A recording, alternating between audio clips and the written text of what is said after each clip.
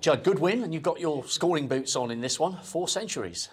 Yeah, it was it was strange really because I didn't feel like I played that well. Um, but the scoring was there. I could have had a couple more. Um, so yeah, it's it's hard to take really. Sometimes when you when you're out there playing, you can be a little bit critical on yourself. So um, I think my brother, when I spoke to him, he said I was playing good stuff, playing solid, and um, I think against Dave, you, you, just take any kind of win. I, I think he's such a, a good player and to be in the second round against him. Um, I knew it was going to be tough draw, but quite happy we, we've just quietly going through the tournament and got into the last eight now.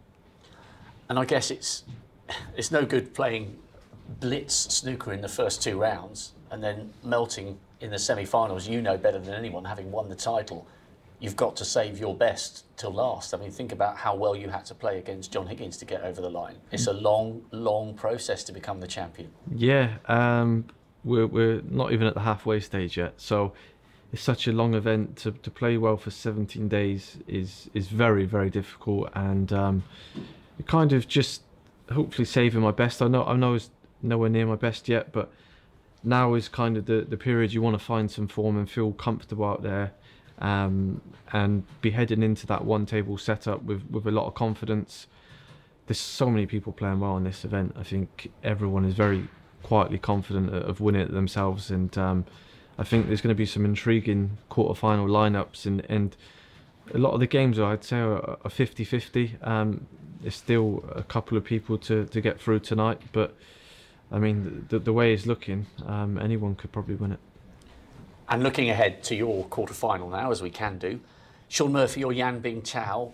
Shaun's in the ascendancy in that match at the moment, but either player would be a, a huge opponent. Murphy's potting some great long balls, and Yan Bingtao proved winning the Masters that he's got the temperament for the big occasion and the big opposition. Yeah, they're both great players. I think I think Shaun for me was due a run. Um, I think he's not had a great season, and I think he loves being here at the World Championship. He loves being the centre of attention. He loves he loves the limelight, and I think that brings the best out of him. And with his game, is is he still plays like a like a kid kind of thing. He still when when the balls go in, he's intimidating, and there's only a handful of players that do that. Um, Jack Lisowski being one of them. Is is not comfortable playing someone that takes on everything because when it's going in, you can't leave them, you can't leave them safe anywhere. So, I think he he's a very tricky uh, opponent to play if he does get through.